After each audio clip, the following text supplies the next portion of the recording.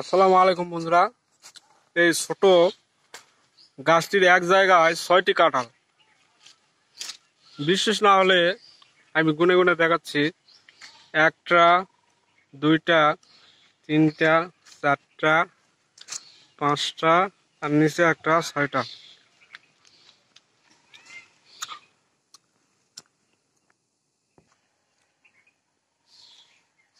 খুব সুন্দর।